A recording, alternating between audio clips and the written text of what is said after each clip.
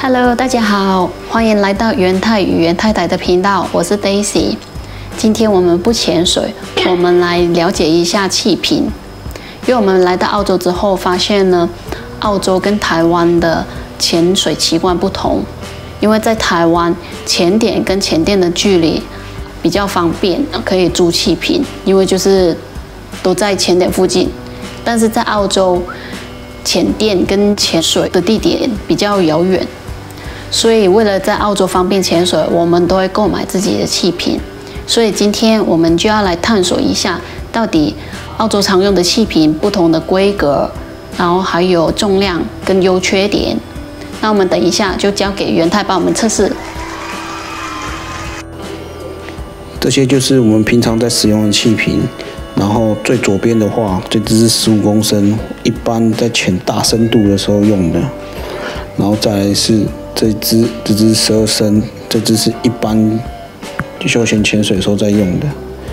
那这两只的话呢，这这两只是七公升，是我自己在练习侧挂时候用的。然后最后在最旁边的这两只铝瓶，也是一般休闲潜水时候用的。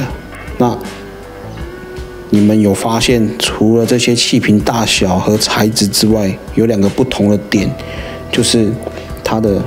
阀门哇，这种是可以拆开，可以装有或是定的。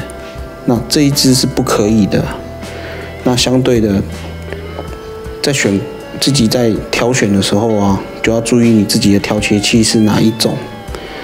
那在澳洲的时候会发现，这种十二升的时候会看见这一种左右两种不对称的。这种是侧挂的，这个也会出现在十二升的气瓶上面，所以自己在挑选的时候，这些都是要特别注意的。然后现在我们来测试一下比较常使用的十二升铝瓶和钢瓶的重量。那在过程中，我们会去记录不同的把数，它的不同的重量是多少。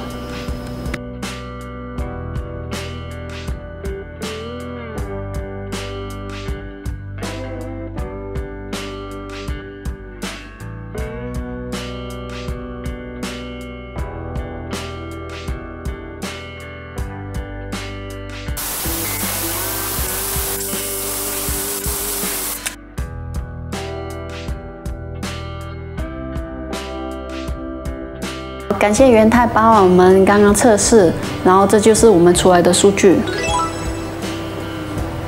根据我们刚刚的测试结果，铝瓶在陆地上的重量是比钢瓶重，但相对的，它在水中的浮力比较大，所以在水中更容易操作。